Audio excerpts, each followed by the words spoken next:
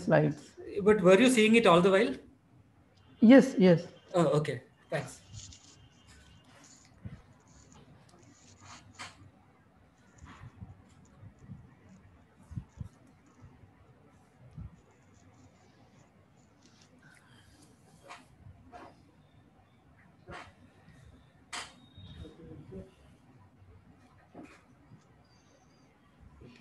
Yeah, if any one of you have questions uh, after the lectures, they can email either to organizers or directly to the speakers, and then we will come back to you. Any one of the students have the questions?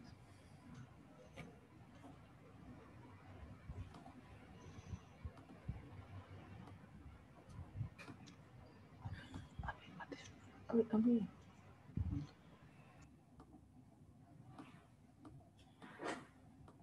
Yeah, thank you, Saurabh.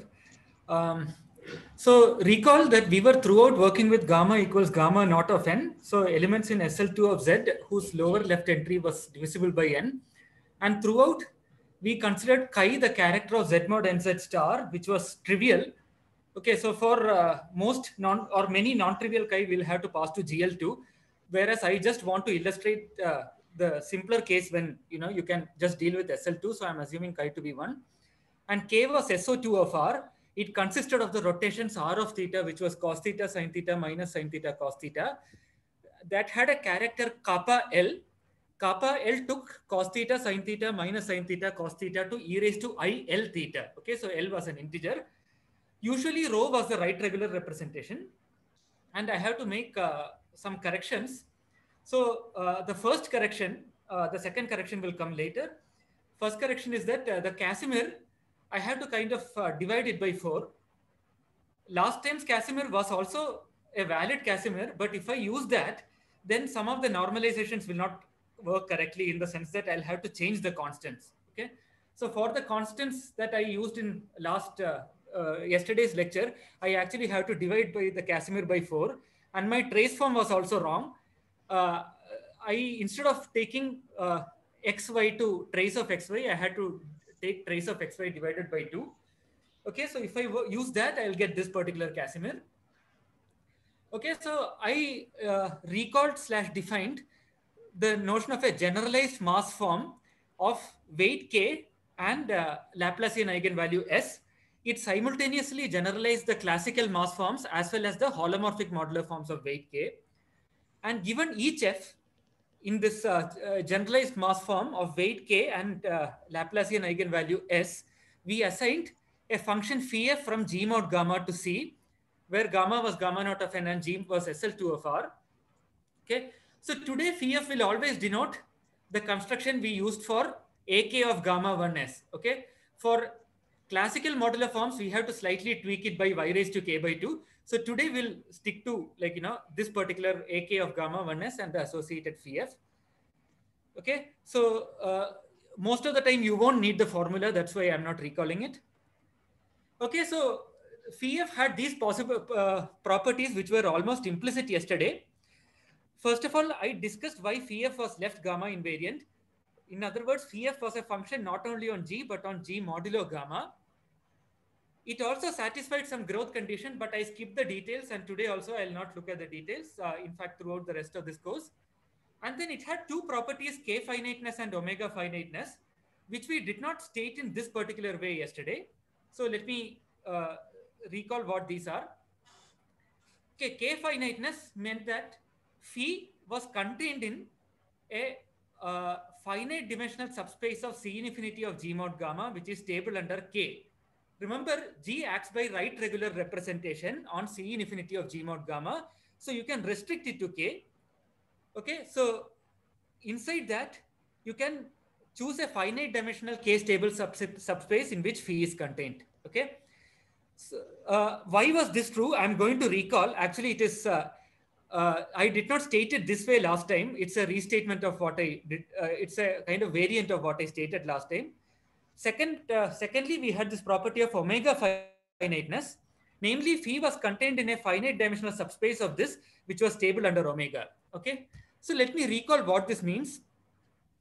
So uh, this was because last time we noticed that if we multiply g by r of theta, Okay, remember F uh, had this weight K, which I have written in blue in AK of gamma 1s. So if we multiply, right, right, uh, do the right regular action of R of theta on phi, we notice that we get a multiple of phi. Namely, phi gets uh, multiplied by the constant exp of ik theta, where k was the weight. Okay. So the one-dimensional subspace spanned by phi is actually k stable. Okay. In other words, phi is contained in a one-dimensional subspace stable under K, in particular, a finite dimensional subspace stable under K. Okay. And similarly, what about omega, which was the Casimir? This was related to the Laplacian eigenvalue. Yesterday, I related omega to delta K. Namely, omega of phi f was minus phi of delta kf. And f was an eigen uh, vector for Laplacian. So it was minus phi of 1 minus s square by 4 times f. So it was s square minus 1 by 4 times phi f. Okay. So remember omega and s square minus 1 by 4. This is these two are related. And uh, we are going to see why we had this strange thing of 1 minus s square by 4 or s square minus 1 by 4 today. Okay, so these are the four conditions. Okay, so remember these four conditions I'm going to repeat on the next page and that will constitute our definition of an automorphic form for G mod gamma. Okay, so a gamma automorphic form phi on G is a smooth function on G satisfying the above four conditions. Okay, left gamma invariance, K finiteness, omega finiteness, and a certain growth condition. Okay. Uh, so any questions so far before uh, we move properly with today's material? Okay, so let me continue. Okay, so maybe if, if this K finiteness looks very strange to you, let me give you an analogy to think about. Okay, so suppose instead of G you had L2 of S1. Okay, and there G is S1 and K is also S1 because S1 is already compact. Okay, so what are the S1 finite vectors in L2 of S1? These are just finite linear combinations of uh, powers of uh, characters of S1, uh, I mean, uh, finite linear combinations of characters of S1. So those are just the trigonometric polynomials. Okay, so instead of the whole of L2 of S1, you have just the trigonometric polynomials. So that is roughly some way to think about K finiteness. So for those who know universal enveloping algebras, let me describe what the condition C means. Okay. So in this context, you have what is called the center of the universal enveloping algebra. Uh, and that identifies with the polynomial ring in one variable over the Casimir. Okay. So the Casimir uh, lies in the center of the universal enveloping algebra. So the polynomial ring over the Casimir also maps to the center of the universal enveloping algebra and in fact identifies with the center. And what C is saying is that uh, inside uh, uh, the center, there is a, an ideal J such that C of omega modulo J is of finite dimension and that annihilates the vector phi. Okay. So one such ideal could be, for instance, the principal ideal generated by omega minus s square minus 1 by 4 from the previous page. Okay. But if you do not know centers of un universal enveloping algebras, don't worry about it. We won't need it at all. Okay. And there is a similar interpretation for B. So let me not go into it because we won't need it later. Okay, so henceforth, so this notation is important. You will need to remember it. A of G mod gamma will denote the C vector space of gamma automorphic forms on G. Okay, so these will be smooth functions on G mod gamma, which are K finite, omega finite, uh, and satisfy some growth condition. Okay, so I now want to introduce the notion of cuspidality uh, I'll be a bit vague about it because, uh, I mean, in the sense that uh, we will not need to use the precise definitions of cuspidality because I'm, I'll be blackboxing it. So remember, for classical uh, modular forms or Maass forms, we had a notion of cuspidality, right? Which meant that uh, for every y, integral from 0 to 1 of f of x plus iy dx had to be 0. Okay. So all you will need to know is that there is a similar condition for forms on G mod gamma. Okay. So a phi on A of G mod gamma is called cuspidal. If for every G, you have this property. Integral 0 to 1 phi of 1x01 G dx is equal to 0. Okay. Uh, this is not exactly true. This only deals with the cusp at infinity. Okay.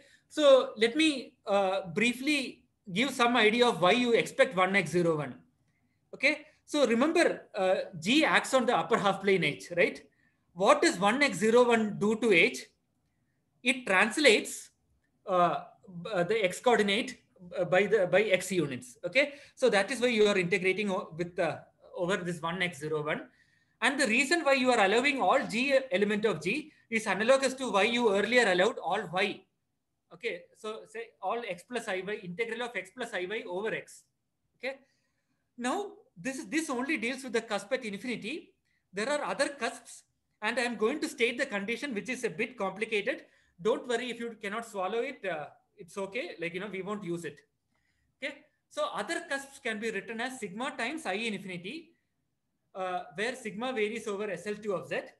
And those cusps have a width and uh, we have to do something to move phi from uh, like you know uh, move the focus from infinity to sigma times i infinity okay?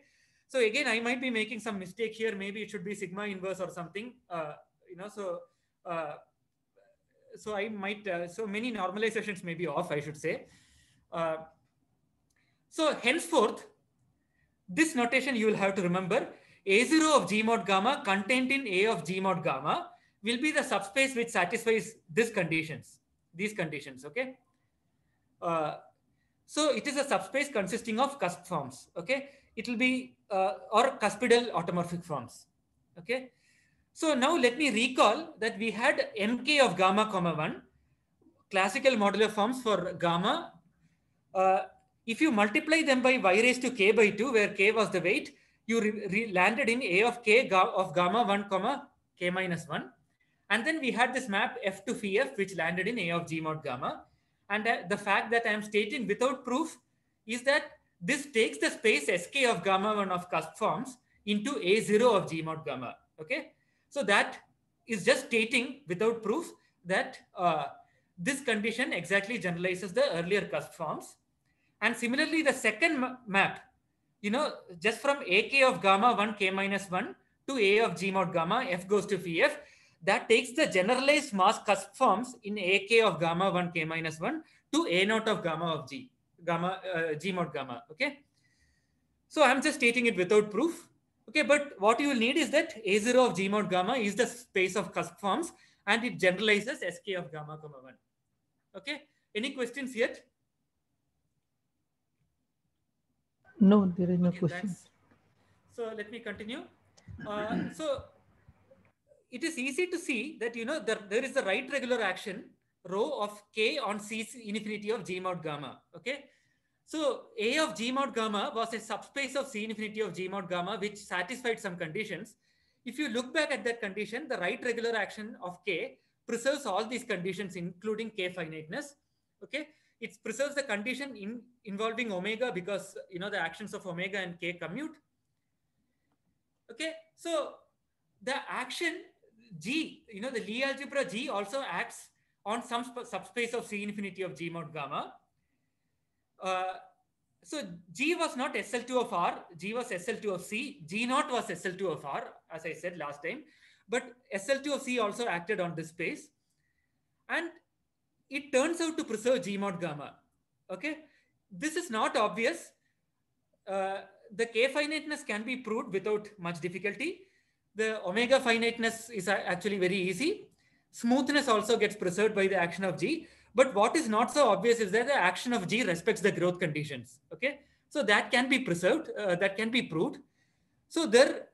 Uh, so this is the uh, disclaimer that I wrote. Okay.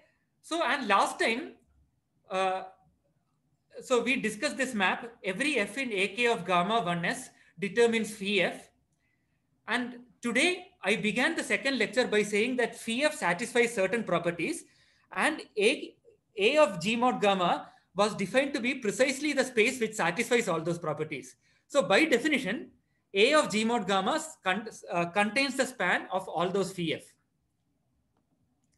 Okay, this containment may well be an equality. I should confess that I haven't checked if this is true and but, but it should not be hard at all to check if this is true. Okay, so uh, you know people don't state things in certain ways often in sources and uh, there are two, there'll be too many things to check if one has to check everything. So I'm just stating it this way. However, we did see last time that if you look at the right side, you know, the sp span of all the phi f, that is preserved by the operators we denoted by h, m plus and m minus. I'll recall it them later. And therefore that space is also preserved by g. Okay. So the right side of equation one above is preserved by k as well as by g. Okay. So if you know that this containment is an equality, that will also tell you that uh, this uh, space is preserved by uh, g and k. Okay. So why was the right side preserved uh, by m plus and m minus? Because we saw that m plus and m minus uh, corresponded to the uh, weight raising or lowering operators of Maass. Okay.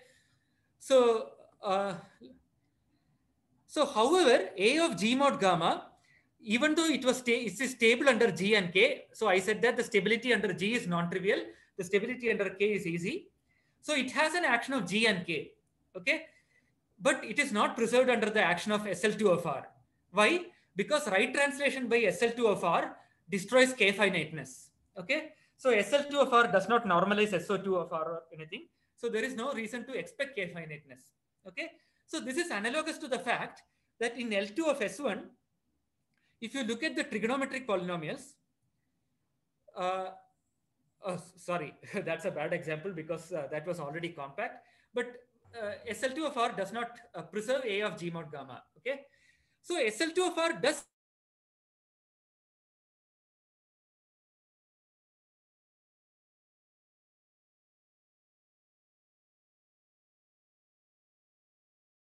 like to think of it as a representation of SL2 of R. Unfortunately, because we have to impose K finiteness, that is not quite true, but it is almost true. Although SL2 of R does not preserve it, its Lie algebra does preserve it, and also its restriction to K preserves it. Okay. Um, so this turns out to fit in nicely with Harishchandra's uh, theory of GK modules because Harishchandra studies representations uh, not using quite the action of G, but using subspaces stable under G and K, which is what we are going to discuss now. Okay. So uh, let me briefly discuss the setting in which Harishchandra discusses his representations. So one important class of representations that one deals with is the class of unitary Hilbert space representations with suitable continuity. Okay. Why continuity? Because we are not thinking of SL2 of R as an abstract group. We are thinking of it as a topological group. So uh, if we omit continuity, we are losing any information about its topological group structure. So what is this uh, continuity property? So recall that a representation of a group G is a homomorphism from G to GL of V. Okay, but in this case, we want to take V to be a Hilbert space. And we only want to uh, look at unitary operators because we want unitary Hilbert space representations. And the continuity property that is going to be imposed is that uh, for all V, the map from G to V given by G mapping to the G dot V, you know, the orbit map for V, we are requiring that this map is continuous. Okay. So now you might ask the question, you see, I'm mapping G to unitary operators on V. Unitary operators on V have a topology. So why not require that map to be continuous? Well, one answer is that the space of unitary operators has several topologies, right? It has the strong operator topology, weak operator topology, norm topology, and so on. So this is roughly like continuity for the norm, uh, strong operator topology. Okay, norm topology is too strong, weak operator topology is too weak. So an example of such a representation, you can verify that the right regular representation of G on L2 of G mod gamma is such a representation. Okay, but not quite A of G mod gamma because that is not even a representation of G. More generally, there are settings where you consider a general good topological vector space uh, don't bother if you don't know what a topological vector space is. I'm just uh, stating it for those who uh, uh like these considerations. So this time inside GL of V, you have to look at continuous linear automorphisms of V. And this time the continuity condition is uh, seemingly stronger. Namely, you require G cross V to V to be continuous. In the case of unitary operators on a Hilbert space, this is equivalent to the earlier weaker condition because unitarity actually simplifies things. But anyway, uh, let me go ahead. So before going ahead with uh, the theory of GK modules, let me recall some facts about continuous finite dimensional representations. So if you have a continuous finite dimensional representation of a Lie group, one knows that that representation is automatically smooth. Okay, so namely you can differentiate it at the identity. So E stands for the identity element. And remember we are writing G naught for the Lie algebra of G, which is SL2 of R. You get a map from there to the Lie algebra of GL of V, which is, which is end of V. Okay. So this is a representation of the Lie algebra SL2 of R. Okay. What does that mean? This means that SL2 of R quote unquote acts on V. Every element of SL2 of R determines an endomorphism of V. And moreover, the commutator on SL2 of R is taken to the commutator in end of V. That is uh, TE pi applied to the bracket x comma y equals TE pi applied to x comma TE pi applied to y, the Lie bracket. Okay. So this, uh, so this is the notion of a representation of a Lie algebra. So if you differentiate a Lie group representation, you get a Lie algebra representation. Okay. And secondly, every representation of a Lie group is determined by its derivative from G naught to end of V. Okay. So these two facts are true with G replaced by any connected Lie group. Okay. So any Lie group uh, representation is determined by the corresponding Lie algebra representation. Though a Lie algebra representation need not arise from a Lie group representation in general unless the Lie group is simply connected. Uh, so this problem doesn't arise for finite dimensional representations of SL2 of R, but okay, let's uh, not get into that subtlety now. Now for infinite dimensional representations, one has to pay some amount of uh, care. Uh, so for instance, we cannot differentiate. So the statement that any continuous finite dimensional representation is automatically smooth is not true. Okay. Only some of the vectors in V are smooth uh, on which you can make Lie algebra act. We had discussed it last time. We are again going to, going to recall it. The second condition is that in order to study the representation, we it is not enough to simply study the representation of the Lie algebra. Unlike the second point there, we also need the action of K. Okay. So if you think of it from the perspective of more general groups like GL2 of R or PGL2 of R, this makes more sense because you know GL2 of R is not connected. You know, determinant can be positive or negative. Uh, so Lie algebra can only detect the connected component first of all. Okay. And similarly, there are issues related to simple connectedness. On the other hand, the Iwasawa decomposition actually tells you that uh, the uh, G of R and K actually are the same homotype, homotopy type and same number of connected components and, and so on. So I'm just giving a philosophical reason for why instead of studying representations of the group, maybe you can study just its derivative action of Lie algebra on a dense subspace together with the action of K. Okay. So if you did not follow all the details of what I just said, it's okay. It's just some philosophical motivation. So let me recall the definition of uh, differentiation, uh, the action of the Lie algebra from last time.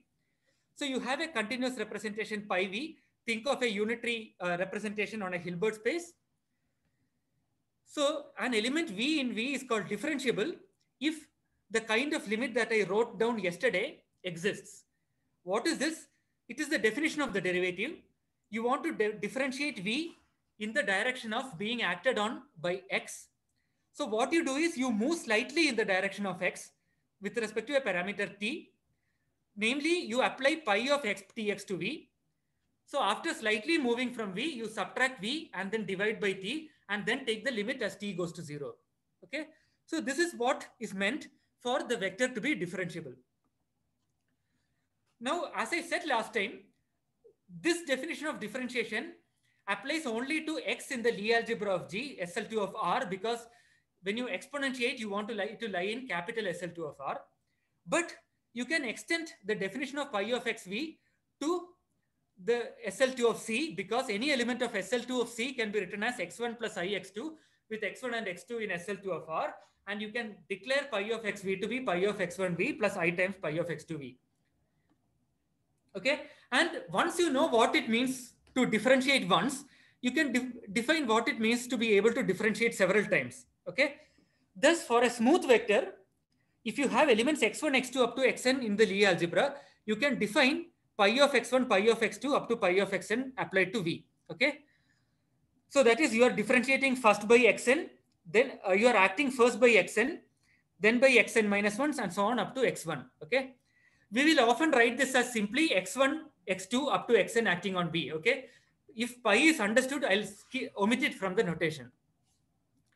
And if you know universal enveloping algebras, what this means is that the action of the Lie algebra can actually be extended to the action of the universal en enveloping algebra.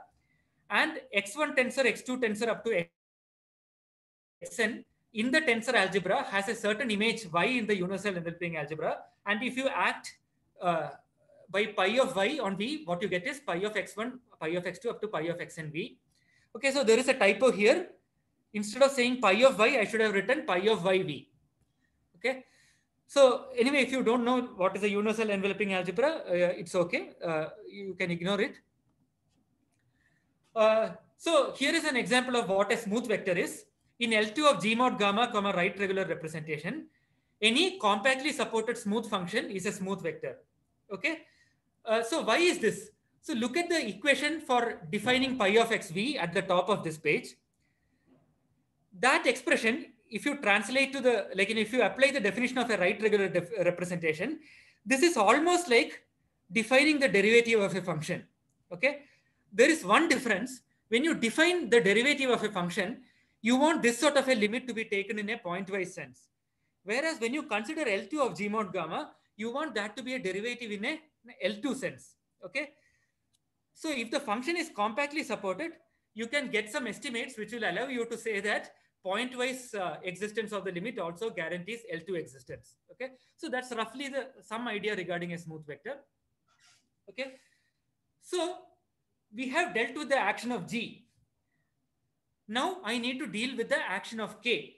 Okay, because I want to study a representation of G in terms of the actions of the Lie algebra of G as well as the action of K. Okay, so arbitrary vectors in a representation are quite wild and we want to introduce a property called k finiteness which is analogous to the property that we earlier saw for automorphic forms okay so pi v is a continuous uh, uh, as above uh, so an element v element of v is called k finite if v is contained in a finite dimensional of uh, subspace of v stable under k okay so what is this? Uh, what is an example? Again, you can go back to the example of L2 of S1, where we uh, uh, pretend that G and K are S1. Okay. In L2 of S1, what are the K finite vectors? You can take the Fourier expansion of any element of L2 of S1, and it's easy to see that a function in L2 of S1 is K finite if and only if it is a finite linear combination of uh, uh, uh, powers. Uh, that is, if and only if it is uh, a trigonometric polynomial. Okay, so that's roughly the idea of k finiteness. Now it is easy to see using that k is isomorphic to S1 and that uh, pi v is a continuous representation that you can characterize k finiteness in the following way. Okay. So remember k was SO2 of R it is the set of all cos theta, sin theta, minus sin theta, cos theta. Okay. Uh, and that was isomorphic to S1 because you can send cos theta, sin theta, minus sin theta, cos theta to e raised to i theta. Okay. So pi v is a continuous representation. You can restrict it to k. So that resulting representation is also continuous. Now, if you have a finite dimensional subspace table under k, that breaks up into finite uh, a sum of irreducible subspaces for k. Okay. So what is an irreducible representation of k? k is this very nice group S1. Every irreducible representation of k is one dimensional. Every rep irreducible representation of k is of the form kappa L, which sends cos theta, sin theta, minus sin theta, cos theta to e raised to i, theta, I, k, I L theta. Okay. So I'm just writing it down. So V is k finite if and only if it has a decomposition as follows. you can write V as V1, V2 up to Vn, where each Vi should span an irreducible representation of K. Okay. So let me repeat that point because this is important. V is called K finite if V is contained in a finite dimensional K subrepresentation of V, uh, v. Okay. But any finite dimensional K subrepresentation of V is contained in a direct sum of one dimensional K subrepresentations of V, each of which is of the form kappa Lj. Okay. So in other words, uh, so uh, uh, so V has to be written as V1 plus up to Vn, where each Vj spans a irreducible subrepresentation of K. So in other words, pi of r theta Vj equals kappa Lj of r of theta Vj. Uh, so let me uh, so let me ask at this point. Uh, I probably did not explain that very smoothly. Do you understand what I'm saying, or uh, if you, I'm I'm willing to repeat this. Uh, if even one person wants me to repeat this.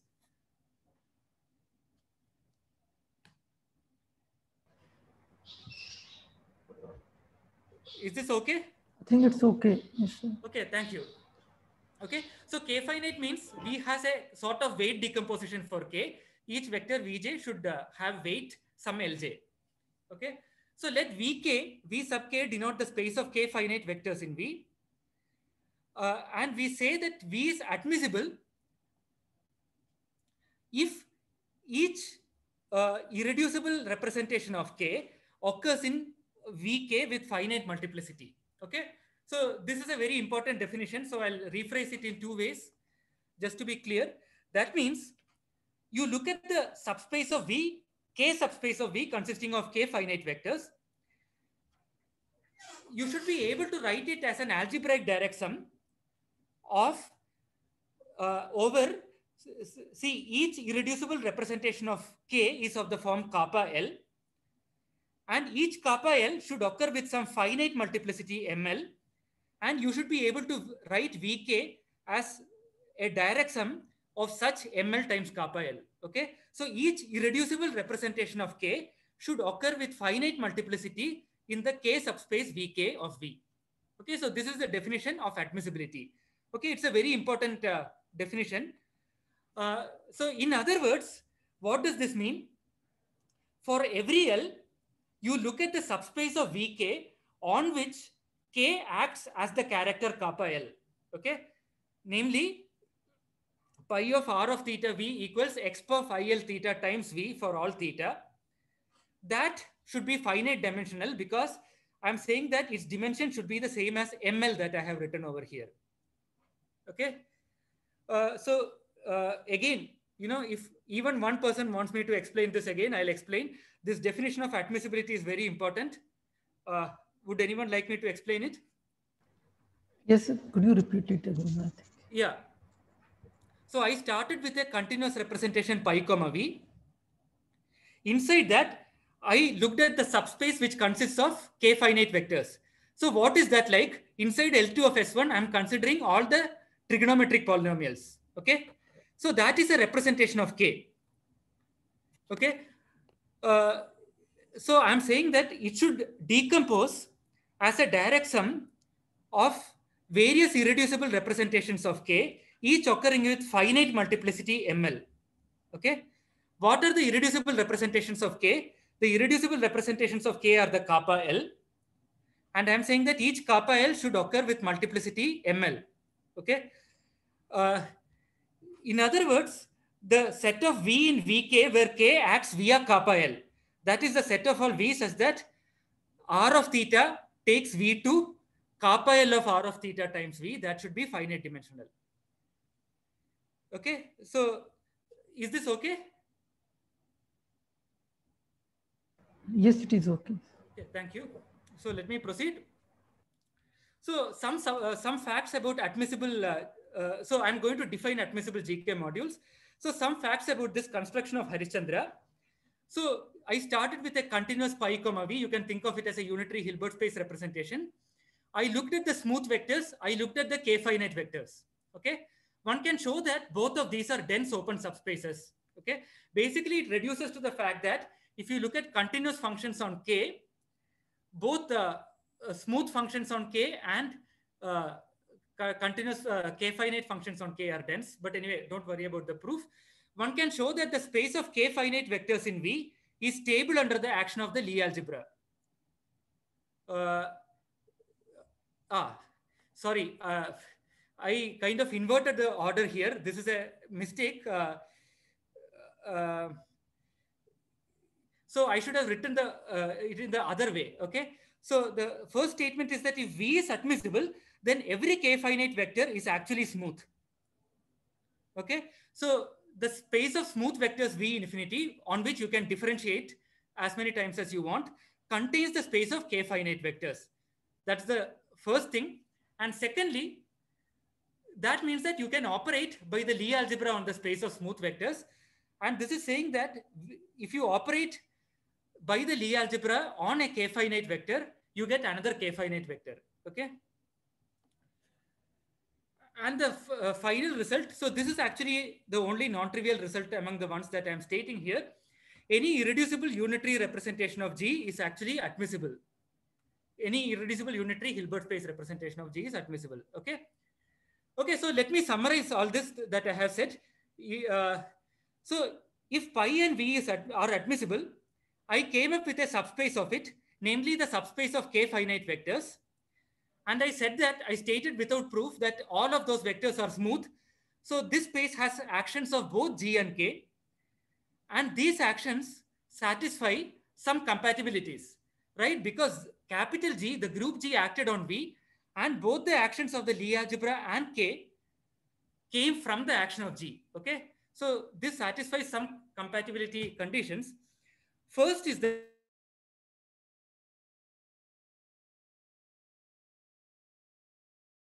that exactly as finite vectors is a direct sum of irreducible representations of K, each occurring with finite multiplicity. Okay. So this is only just the definition of admissibility that I had written earlier. Second is that, uh, you see, you have Lie algebra of K.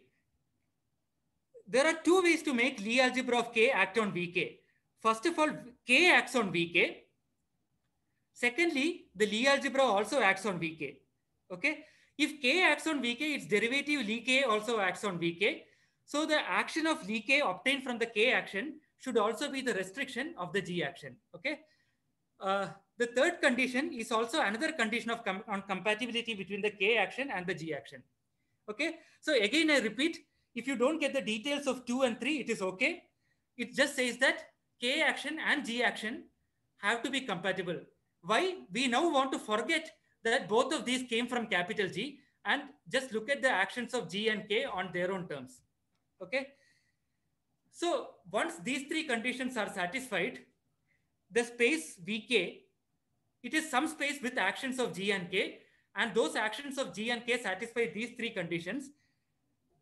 And with these three conditions, uh, so such, such a space is called an admissible GK module. Okay. So some space of K finite vectors, which have compatible actions of G and K with this finite multiplicity condition. Okay. So again, you know, uh, just try to absorb the general picture, uh, even if not all the details are there. Um, so one has a similar definition of a GK module where one relaxes admissibility or the finite multiplicity requirement above. Okay, namely, one still has uh, every vector in this representation should be k finite. The actions of g and k should be compatible, but you don't require finite multiplicity. Okay. Uh, so toward, earlier in this talk, I defined automorphic forms for G mod gamma. And I said that it has actions of G and K.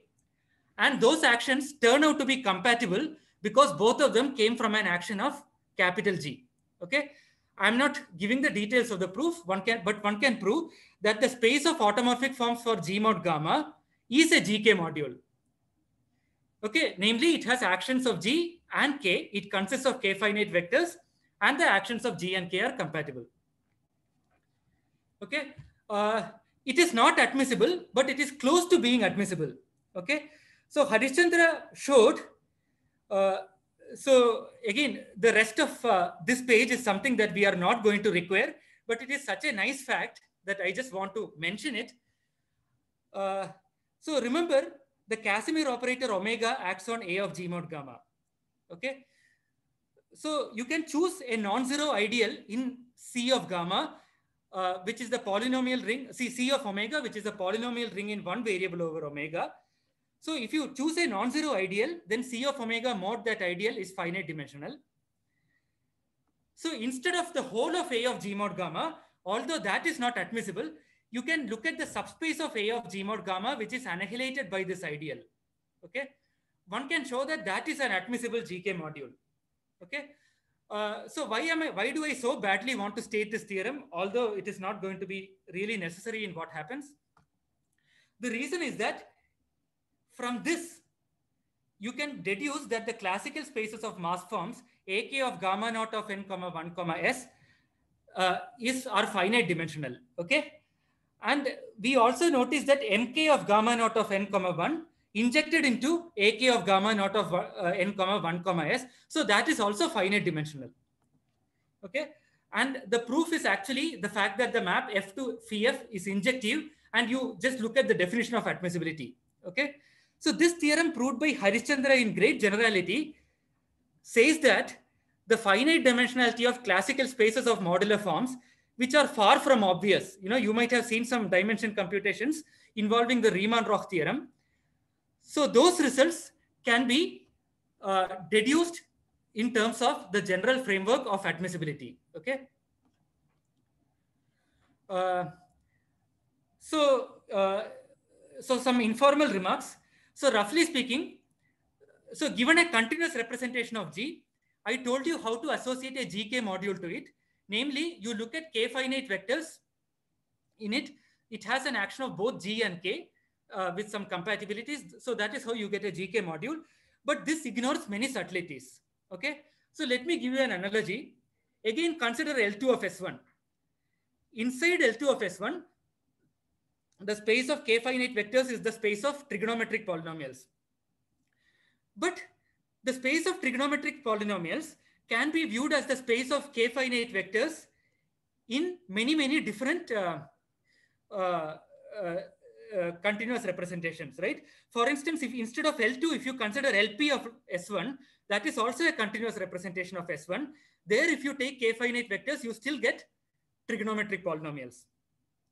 Or you could consider C infinity of S1, okay? And put some topological vector space structure on it that also has the same space of k finite vectors. Okay. Similarly, there can be, uh, so the same GK module can correspond to several uh, continuous representations of G. Some of them may be Hilbert space representations, some of them may be Banach space representations.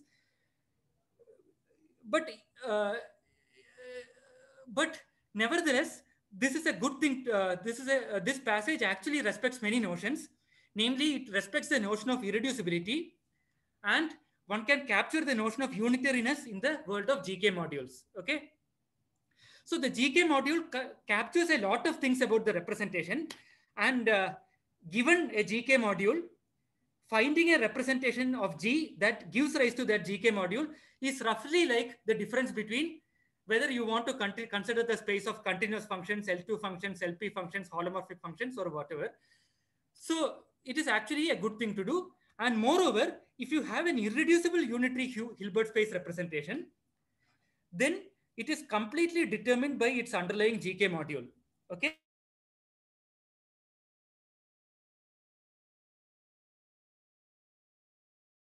So for instance, I said that in infinity of S1, all of them give you the same space of K finite vectors, but among them, only one of them is irreducible unitary. Okay. So if you want to study only irreducible unitary representations, it's enough to study GK modules. And in the case of automorphic representations, because right regular representation was unitary, all the GK modules that we are going to study will be unitary. And uh, you can, uh, like, you know, the irreducible unitary representation that gives rise to it is also going to be unitary. Okay. Uh, so any questions so far? No question till yet. Thank you. Uh, so let me give some motivation from the finite dimensional representation theory of SL2 of R. Uh, so one knows, okay, I'm stating without proof that for every uh, non-zero, non, uh, non-negative integer, sorry, every, uh, yeah, non-negative integer m, SL2 of R has a unique uh, representation of dimension m plus 1, which is the mth symmetric power representation. For instance, the zero symmetric power representation is the trivial representation. And recall that SL2 of R is spanned by little h, little e, and little f that I have written over here. And let me recall some important fact about this uh, m plus 1 dimensional representation, Wm. Namely, Wm has a basis Wm, Wm minus 2 up to W minus m, such that the basis element Wj has weight j for h. Namely, uh, the if you make the Lie algebra element h act on Wj, uh, you get j times Wj. Okay, so it's an eigenvector with eigenvalue or weight j. Okay, so the notion of weight here is analogous to the notion of weight for modular forms as we are going to see. Okay, therefore, Wm has a decomposition into eigenspaces for the action of H. Uh, now, recall that instead of H, comma E, comma F, we are considering capital H, comma M plus, comma M minus, where capital H, M plus, and M minus are these horrible mat uh, matrices that I wrote down yesterday. Uh, so we will not do explicit computations regarding these. Now let pi be a continuous admissible representation by definition, Vk, that is the space of k finite vectors. Okay. Uh, space of k finite vectors, I said, has a direct sum decomposition into irreducible representations for k. And each irreducible representation was one dimensional. So it has a decomposition. Uh, and remember that uh, uh last time we noticed the following, namely you look at this basis vector h, which was minus i times 0, 1, minus 1, 0. For every theta in R, if you consider expo phi times theta times h, what you get is precisely the rotation matrix R of theta. Okay. So this was the reason for which we uh, chose this capital H instead of the much simpler element small h. Remember Sagar Srivastava asked a question, uh, why I chose capital H instead of small h and this was the reason. And last time's argument, let me not recall the details of that argument. If you have a k finite vector v, uh, the following two conditions are equivalent. Capital K acts on v by kappa L. Okay, namely r of theta times v equals kappa L of r of theta times v if and only if h times v is L times v.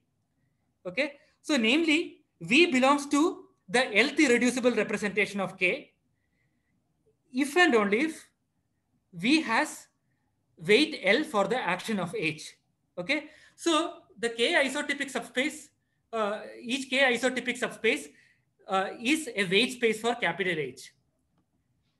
In other words, the space of K finite vectors has an eigenspace decomposition for the action of H with integer weights. Okay, so um, so in the finite dimensional case, we said we noticed that little h has uh, integer weights m, m minus 2 up to minus m. Here, capital H has integer weights on Vk. Moreover, one can show that there is some element of uh, SL2 of C that takes the usual basis HEF to the basis capital H m plus m minus. All that this means is that arguments involving E comma H comma F apply where Instead, you have m plus comma h comma m minus. So if you have studied representation theory of S, SL2 of R, then many of those arguments can be repeated in this context with uh, where you use m plus h m minus instead of e comma h comma f. Okay. Uh, now this slide is not going to be strictly necessary for uh, what follows, but it's a very, very useful thing to know uh, I just want to describe some considerations uh, with which uh, some of the results in representation theory of SL2 of R are proved, just to give you some sort of a flavor. Okay. So suppose you have a k finite vector Vn, which satisfies the property that h of acts on Vn with eigenvalue n. Okay, so h times Vn is n times Vn. Okay. So uh, this is the second correction I had to make from last time. I wrote this minus 2 in red because in my slides from yesterday, I had written 2 instead of minus 2. And I don't remember noticing it last time. So I might have even said 2. But anyway, uh, so these are the these are two of the relations that I wrote last time. Uh, and last time I noticed that if Vn has weight n, then m plus acting on Vn has weight n plus 2. And m minus acting on Vn has weight n minus 2. Okay. So m plus raises the weight by 2 and m minus lowers the weight by 2. So one can ask the question, if you add act first by m plus and then by m minus or vice versa, you are raising the weight by 2 and then decreasing the weight by 2 or vice versa. So you are getting the same weight n. How does it relate to Vn? So the basic point is that if you can answer this question, then you can you have a lot of control over how a representation behaves. Okay. Uh, so I think I will not have time to discuss this slide. And anyway, this slide is slightly complicated.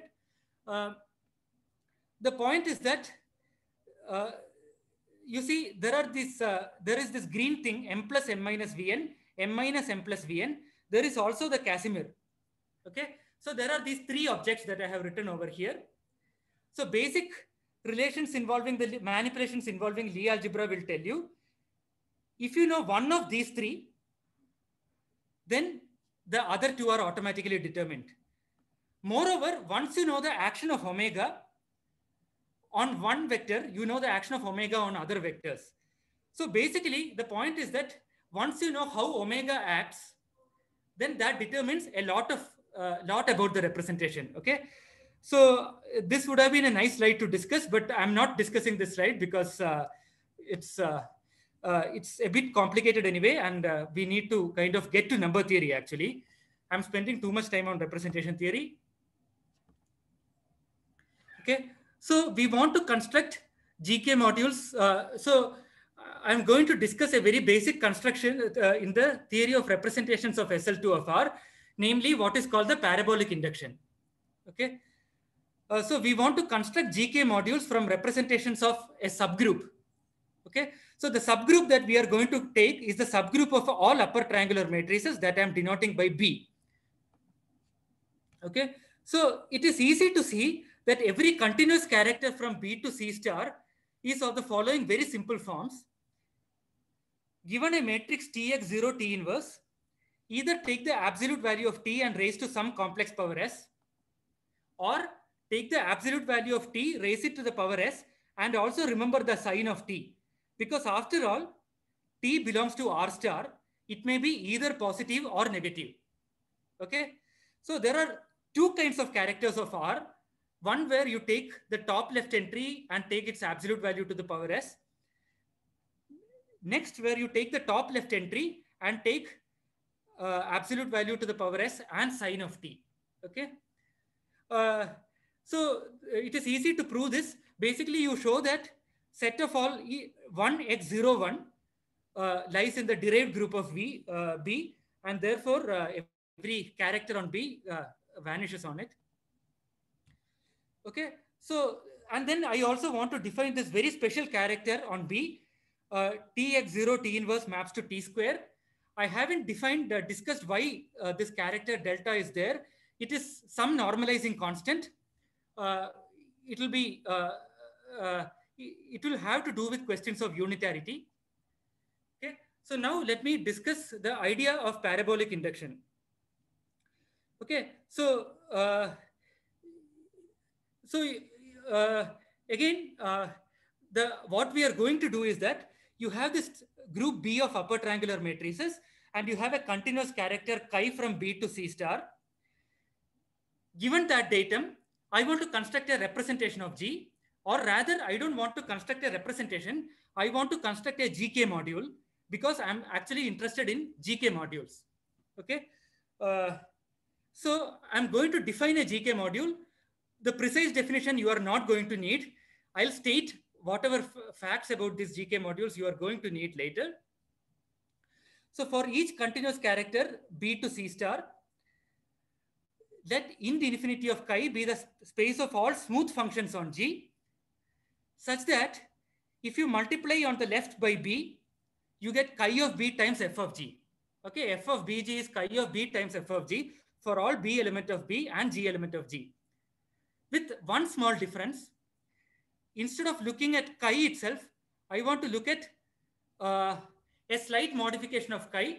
I had a character delta in the previous slide, which say it takes tx0 t inverse to t square.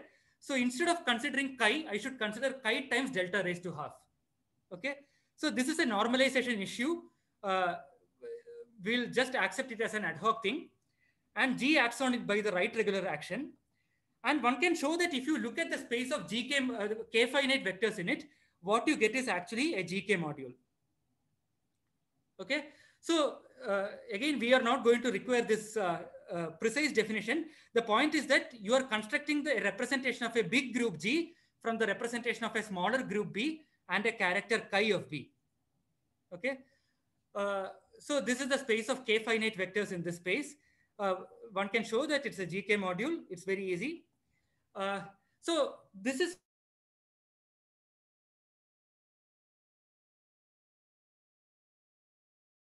uh, chi of b to delta b raised to half to uh, chi of b. The point is that if chi is unitary, we wanted the induced uh, gk module in b to g of chi to also be unitary. Okay, so that normalization of replacing chi with delta raised to half ensures that if chi is unitary, then in b to g of chi is also unitary. So I see that Sagar Srivastava has raised a hand. Can you ask the question? Yeah, uh, when you're taking uh, delta b power half, uh, which uh, branch of the square root are you taking? See, delta of b uh, is uh, It's, real uh, positive square, right? valued, right? Yeah, so it's It t square. t, But t square, so positive square root. okay, okay, Yeah. thanks. Um, so for instance, if chi of tx0 t inverse ec either absolute value of t to the s or absolute value of t to the s sign t with s purely imaginary, then chi is a unitary character and that will ensure that the induced representation is unitary. Okay. So this is going to have a lot of significance when we are going to deal with Maass forms. Um, uh, so uh, let me so we, we will not require anything that I wrote about the definition of the induced representation. All that we will need are some properties of the induced representation. Uh, so let me state those properties. So these are the two forms of uh, characters that you can have. And you can look at the eigenvalues of G uh, of H on the GK module induced chi. If there is no sign in the character, then the eigenvalues are the even numbers. Okay, so they'll be 0, 2, 4, dot dot dot and minus 2 minus 4 dot dot dot. Otherwise it will be all the odd numbers minus 1 min, uh, minus 1 minus 3 dot dot dot and 1 3 dot dot dot. The corresponding eigenspaces are all one dimensional okay eigenspaces of h. So every weight space is one dimensional and we can explicitly describe a basis of eigenvectors for h and we can say what m plus and m minus do to those eigenvectors okay so these increase or decrease the weight by 2 and now finally, I can explain why s square minus 1 by 4 I wrote. Okay, so if chi of t is x0 t inverse is absolute value of t to the s or absolute value of t to the s sign t, then the action of the Casimir on the induced representation is by s square minus 1 by 4. Okay, which is exactly related to 1 minus s square by 4. Okay, so this gives you some sort of an explanation of why we did not simply write the Laplacian eigen, eigenvalue as s, but we wrote it as s square minus 1 by 4. Okay. And one can show with explicit computations that every irreducible GK module for G is contained in some induced representation. Okay. Now I'm going to list five groups of unitary GK modules for SL2 of R.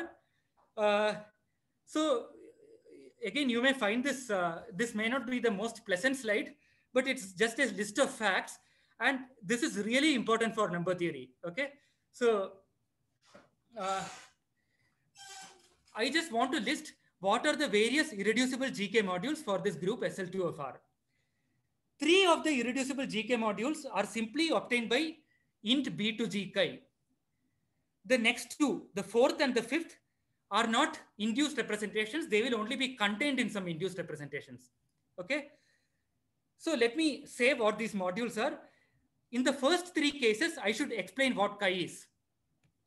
In the first case, chi of tx0 t inverse is only absolute value of t to the s with s imaginary.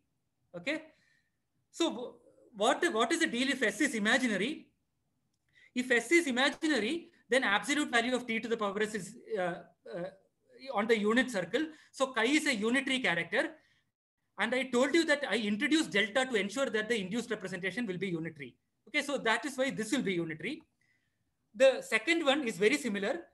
Uh, you take the same thing with sign of t. Again, s has to be imaginary so that the representation will be unitary. I wrote s not equal to 0 because it's going to be covered in the fourth case. In the third one, the story is similar, except that s is going to lie in minus 1, between minus 1 and 1. Okay. In this case, it is uh, not clear why the induced representation is, is unitary. And in fact, that needs some non-trivial argument involving what are called intertwining operators. I'll skip it. But just remember, there is a class of representations called complementary series. They involve induction from non-unitary characters. Okay, so this is going to be very important to discuss what is called the Selberg eigenvalue conjecture, and that is why it is. Uh, and in fact, it's also important for Ramanujan conjecture. The fifth example is uh, the trivial representation on which k acts by zero. Finally, as k varies, you have various discrete series or limit of discrete series representations. Um, so before I proceed, let me, since uh, this is a number theoretic audience, let me mention the following. The first example is what is most important for Maass forms. And the S that you see there is exactly related to the Laplacian eigenvalue. Okay, that S square minus 1 by 4. And the fourth example is what is going to be really necessary for discrete series representations or limit of discrete series representations. Uh, sorry, those are going to be important for holomorphic modular forms. The K that you see here is actually going to be the weight of the modular form. Okay.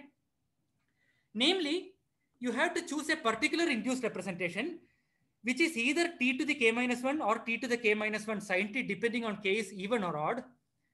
And inside that, oh, sorry, I again made a mistake.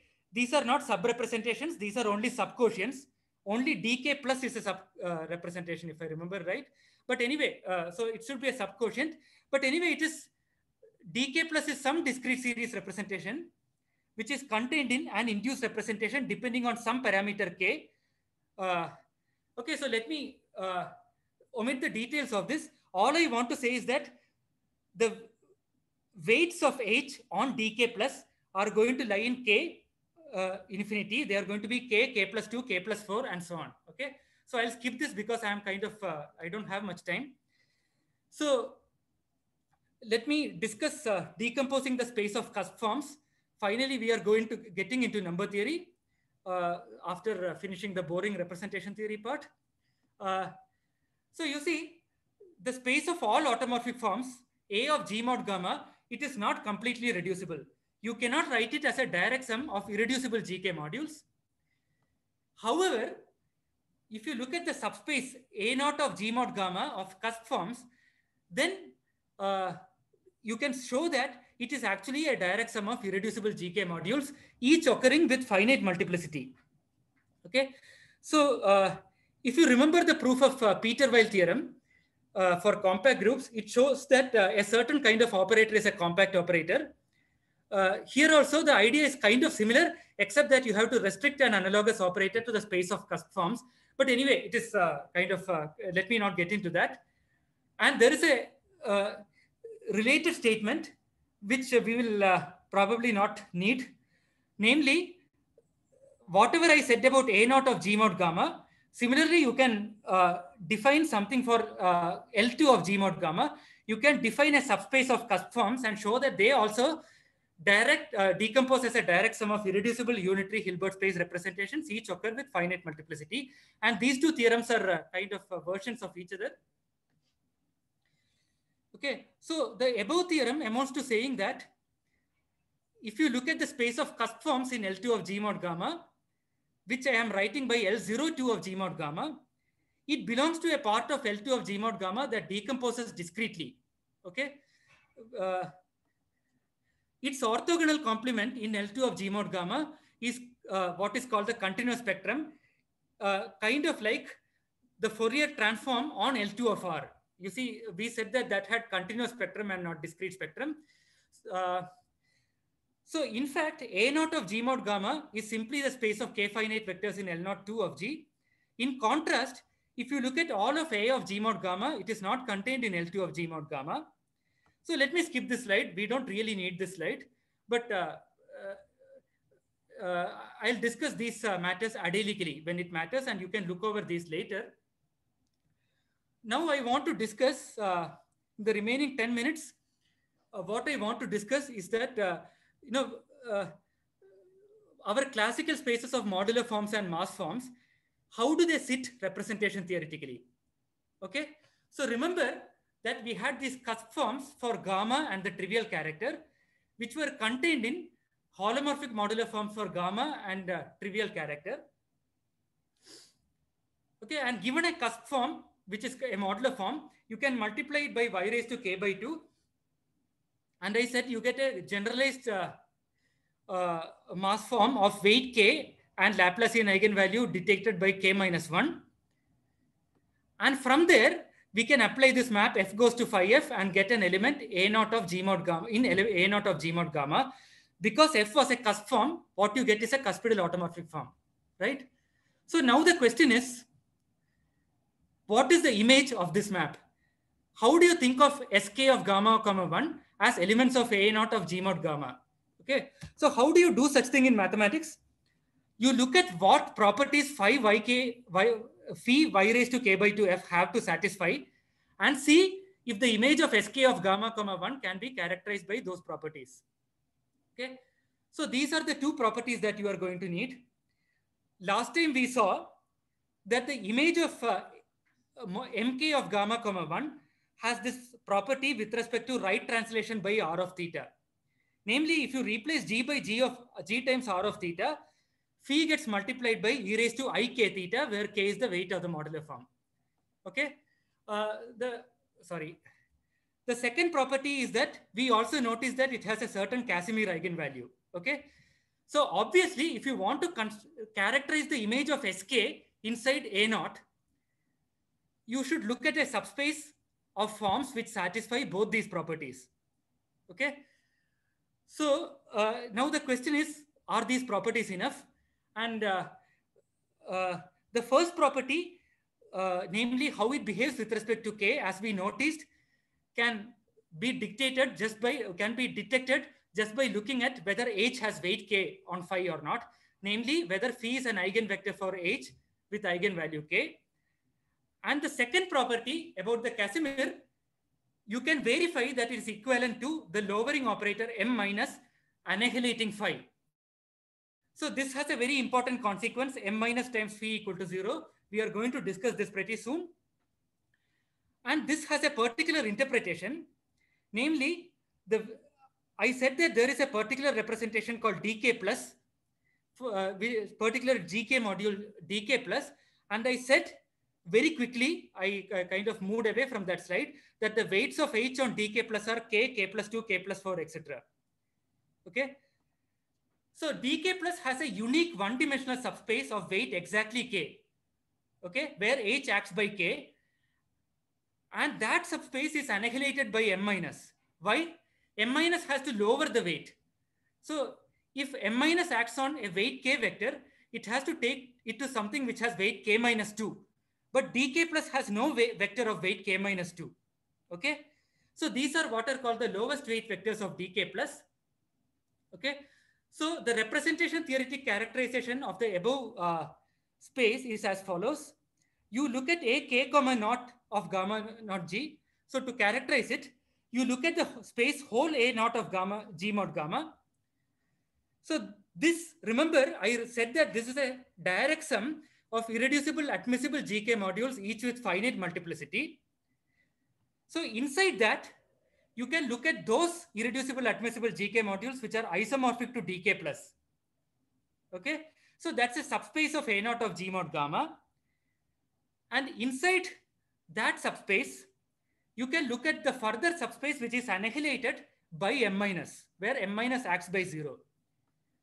Okay, so the representation theoretic interpretation of the definition that I have written here is that this subspace is precisely a k comma 0 of g mod gamma given by uh, these two constraints that I have written over here. Okay. So the theorem that I want to discuss is that, sorry, I'm missing a parenthesis here. So given f element of sk of gamma not 1, we got an element of, sorry, this should be a naught of g mod gamma. We got an element of a naught of g mod gamma. So the statement is that this has image in ak naught of g mod gamma. And in fact, it's an isomorphism from sk of gamma to ak naught of g mod gamma. Okay. So you have a very beautiful characterization of cusp forms in terms of the representation theory of SL2 of R acting on L2 of G mod gamma. Uh, so I wanted to discuss some ideas on the proof, but I'll probably not have time. So the idea is that I told you how to get phi from F, but you can go back and get F from phi. Okay, so you can cook up some F based on phi, but the main point is that you need to prove that such an F is holomorphic. So that's going to be the most uh, non-trivial part of it. Uh, and the point is that uh, we showed that M, we looked at only the space which is annihilated by M minus. Remember when we looked at A k comma naught of G mod gamma, we looked at the subspace annihilated by M minus, and you have to verify that it translates to dou by dou Z bar annihilating F, which is to say that F is holomorphic. Okay, so let me not uh, uh, discuss the details, but the summary is as follows. The map from Sk of gamma naught of n comma 1 to the automorphic forms on G mod gamma identifies with very, very special vectors in the subspace of A naught G mod gamma corresponding to the irreducible unitary representation dk plus. Okay. And the next thing I wanted to discuss was that there exists a similar uh, uh, expression for Maass forms. Okay, classical Maass forms. So since I will not have time, I, I want to stop uh, pretty soon. Let me just discuss, let me just state the result. So for classical Maass forms, so I'm just discussing what this theorem is at the bottom. If you send F to phi F for classical Maass forms, the space of classical Maass forms get identified with Laplacian eigenvalue lambda of S.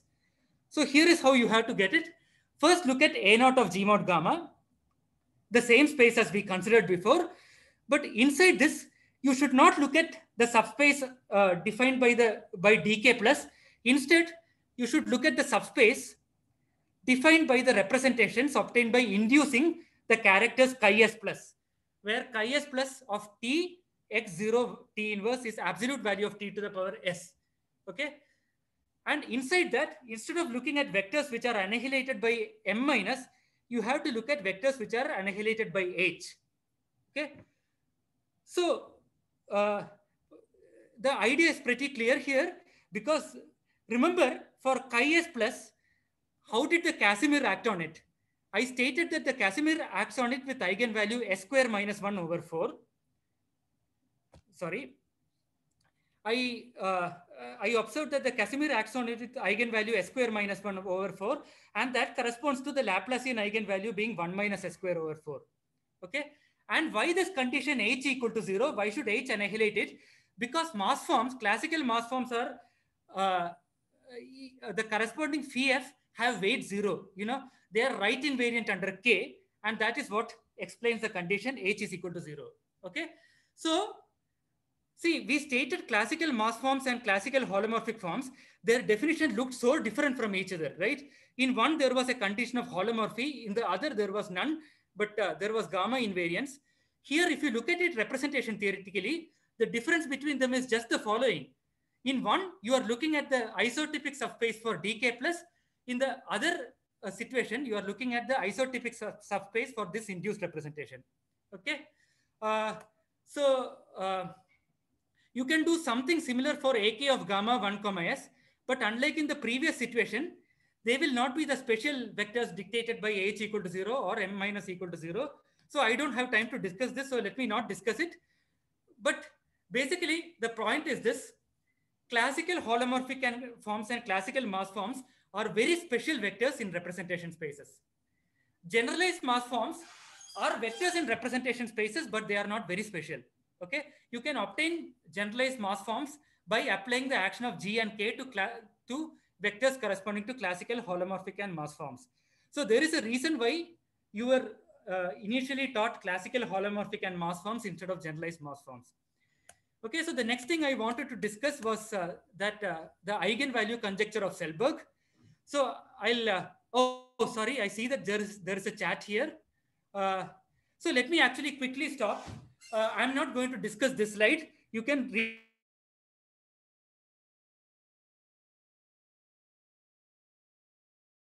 read it, I'll upload this slide. Conjecture of Selberg, which that any eigenvalue of the hyperbolic Laplacian on the space of classical Maass forms uh, satisfies uh, lambda of s greater than or equal to 1 over 4. Okay, so that also has a representation theoretic interpretation. Namely, uh, so if you look at the Casimir action, I said, uh, okay, so let me not discuss it. Based on whatever we have discussed so far, uh, given that uh, this representation had to be unitary, the Casimir, uh, the Laplacian eigenvalue is 1 minus s square over 4. Whether it is greater than 1 fourth or not depended on whether s is purely imaginary or minus 1 less than s less than 1. So the money quote on this slide is the last sentence over here. You can interpret Selberg's eigenvalue conjecture in the following way. If you look at A naught n of G mod gamma naught of n, it only con contains unitarily induced principal series representation and no, no complementary series representation. Okay. Uh, so you can have something similar. So the, the point is that later, hopefully, we'll be able to discuss the Ramanujan conjecture and its representation theoretic interpretation. So that also involves ruling out complementary series representation. And this is the reason why Selberg's eigenvalue conjecture is the uh, version of uh, Ramanujan's conjecture at the infinite place in some sense.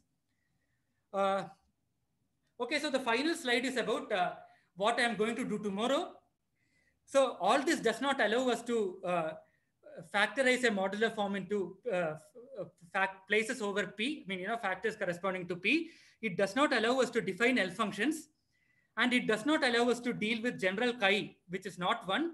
So tomorrow, a lot of the time, I'll be discussing very basic facts about Adeles.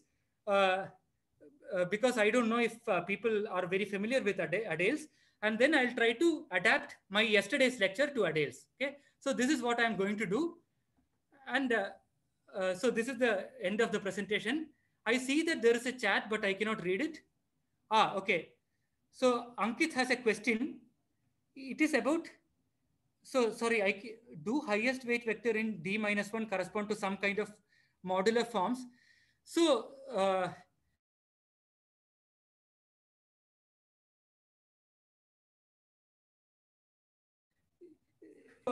I believe they should uh, correspond to some sort of anti-holomorphic modular forms uh, in the weight one situation, and they must relate to uh, generalized modular forms. But to be honest, uh, I'm not sure. I'm just guessing. Uh, so I'll I'll try to think about it and get back to you. Uh, is there any other question? I'm sorry for going over time. I wanted to finish this because tomorrow I want to start on a clean slate, and tomorrow's lecture will be much simpler than today's lecture. Saurabh? Okay, any other questions? Guys, I uh, I apologize for uh, if uh, parts of the no, talk no, were it's too okay, technical. it's okay, uh, sir. It's but the slides fine. are going to be put up uh, and uh, I'll try to kind of uh, be a bit lighter next time. But I really wanted to discuss all these things involving number theory. So Yes, yeah. sir. That's quite informative, sir. Yeah, quite interesting also. Okay, any more questions?